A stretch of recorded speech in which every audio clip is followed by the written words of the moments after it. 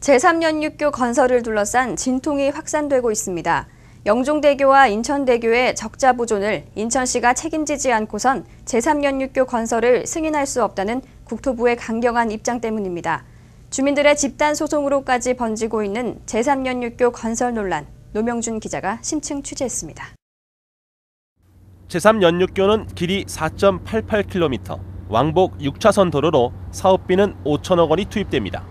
영종대교와 인천대교 사이에 들어서는 세 번째 다리입니다. 지금 제가 서 있는 이곳은 영종도 구 배터입니다. 영종도와 육지를 잇는 제3연육교는 바다 건너 청라 국제도시를 연결합니다.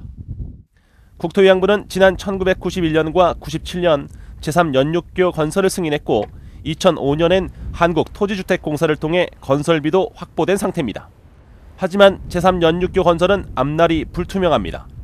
정부가 세 다리가 들어서면 인천대교와 영종대교의 통행량 감소분을 모두 보존해 주기로 약속했는데 그 손실분을 모두 인천시가 책임져야 한다는 입장 때문입니다.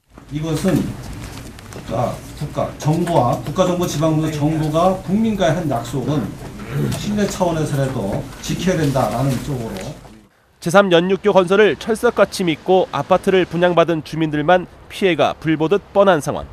이미 16건의 소송이 진행 중이고 계약 해제도 잇따르고 있습니다. 지금 대부분 다 분양 계약자분들이 다 계약 해제를 다 원하고 계세요. 이 교통 문제 사실 큽니다. 크기 때문에 만약에 재산 연립교가 안 되면 음, 아마 단지별로 지금 입주 거부라든가 잔금 납입 거부 운동을 이제 벌릴 수밖에 없어요. 최근 인천시가 선착공 후 협상을 카드로 꺼냈지만 국토부의 입장은 변함이 없습니다. 기존 두 개 다리의 통행량 손실 2조 원 가량을 책임질 경우에만 건설 승인을 내줄 수 있다는 방침입니다. 국토부가 지나친 욕심을 부리고 있다는 지적도 나오고 있습니다.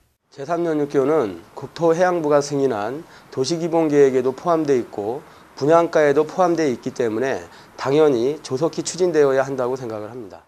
제3연육교 건설 사업이 인천시와 국토부 간 입장 차이로 난항을 겪으면서 영종과 청라지구 주민들만 피해를 볼 처지에 놓였습니다.